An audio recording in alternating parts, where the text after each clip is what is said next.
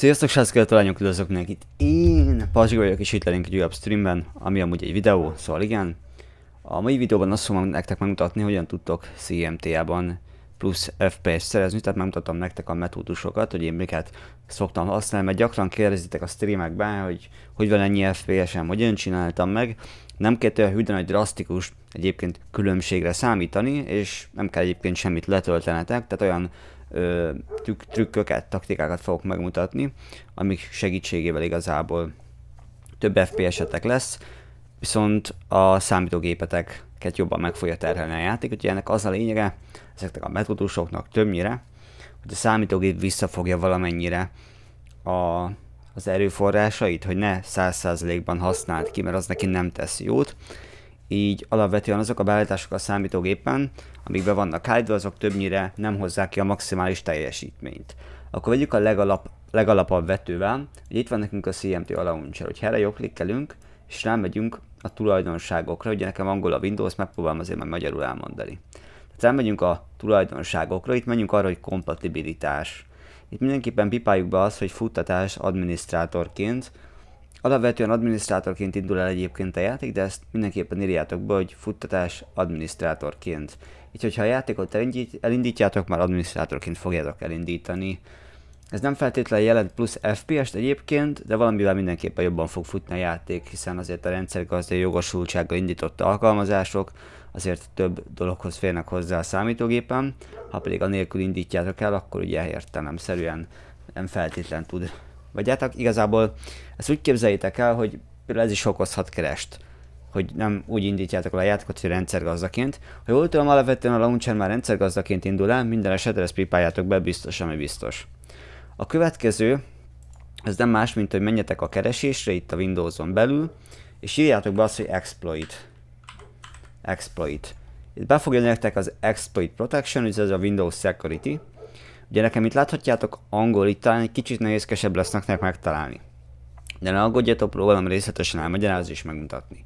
Tehát bejött nektek hogy ez az exploit protection, tehát exploit védelem, vagy valami hasonló. Itt rámentek a program settingsre, itt pedig ez fog titeket itt fogadni. Itt van egy ilyen plusz ikon, ezt megnyomjátok, és choose extract file path. Ez igazából annyi, hogy a file-t ki tudjátok keresni, tehát a felső az, hogy beírjátok a nevet, az alsó pedig az, hogy kijelölitek a konkrét útvonalat, hogy hol található ez a fájl. Nekünk innen az alsó kell, erre rákattintatok, itt pedig kiválasztátok az asztalról a CMT-át. Ha ezzel megvagytok, itt szépen egy picikét letekertek, és megkeresitek ezt a Control Flow Guardot. Ez a CFG. Tehát nem kell nagyon letekerni, épp hogy csak egy kicsikét, és ezt kell itt megkerestetek. Itt pipáljátok be a legfelsőt, majd ezt az on gombot vegyétek ki, és kattintsatok arra, hogy apply, tehát hogy, hogy mentse le. Ha ezzel megvagytok, nekem már hozzámondod, hogy nem fogom megcsinálni, ha ezzel megvagytok, ismételten csináljátok meg, amit az előbb, Annyi különbsége, hogy most ne az asztalról válasszátok ki a CMT-et, hanem menjetek bele a játék főgyökér mappájába, és itt válasszátok ki a Multitheft Auto nevezetű fájt. Ugyanúgy adjátok hozzá, tekerjetek le a Control Flow Guardhoz, pipáljátok be a CFG fájt, itt azt a felsőt, és itt ezt tegyétek offra. Ez nagyon fontos. Oké, és ha ezzel meg vagyunk, indítsátok újra a számítógépet. Ha minden az elég csak újraindítani a launchert, de biztos, ami biztos, indítsátok újra hozzá a számítógépet. Ez az, ami fix. Rendben.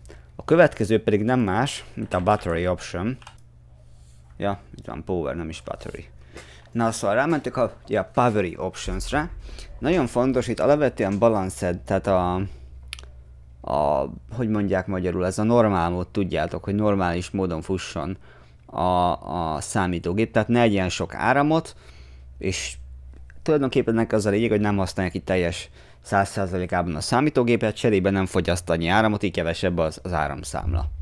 Itt létezik egy High Performance nevezetű beállítás, ami nagyon sok áramot fogyaszt a számítógépnél, viszont csúcs teljesítményt nyújt a számítógép, tehát teljes mértékben kihajtja azt.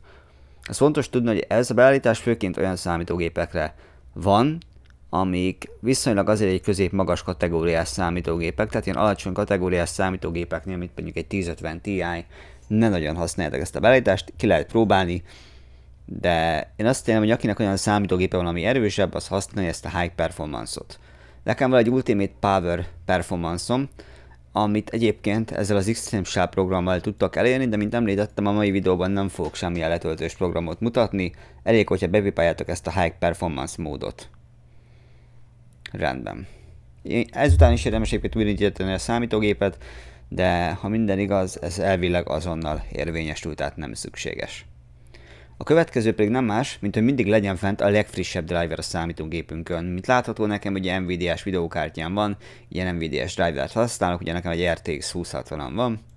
Látható, hogy nekem már fent van a legfrissebb driver, erre mindig figyeljünk oda, hogy mindig fent legyen a legfrissebb driver a számítógépünkön. Ez ugyanúgy, vonatkozik AMD-re, tök mindegy mire, a lényeg az, hogy mindig legyen fent a legfrissebb driver. A következő. Indítsuk el a CMTA-nak a launcherjét,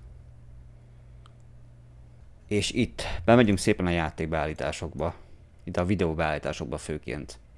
Itt nagyon fontos, hogy én a keret nélküli ablakmódot használom, illetőlegesen a látótér le van húzva nekem 70%-ra. A látóhatár le van húzva 71%-ra, az FX minőség a legalacsonyabbra van húzva, az anti, ant, anizotróp szűrés szintúgy ki van kapcsolva, élsimítás ki van kapcsolva, a képarány 16-9-es, és innen szinte minden ki van kapcsolva, kivétel a gumifüstölés, a párbeszédablak és a minimalizálás teljes képernyős módban. Ezeket állítsátok be, higgyétek el, elég sok ö, ö, FPS-t meg tudtok igazából spórolni vele. Igazából folyamat prioritás, ezt érdemes magasra tenni, ezeket pedig igazából keresési sebesség, ezt érdemes gyorsra, és igazából ennyi, ezeket okézzuk le. Szerintem ennél is újra kell a játékot, lényegtelen, jöjjön a következő metódus. Most nem fogok felcsatlakozni a szerverre, csak megmutatom, de egyébként itt válasszátok ki azt a szervert, amire fel akartok csatlakozni, és miután már ott vagytok a szerveren, tehát fenn vagytok a szerveren, nyomtok egy Ctrl a Delete-et,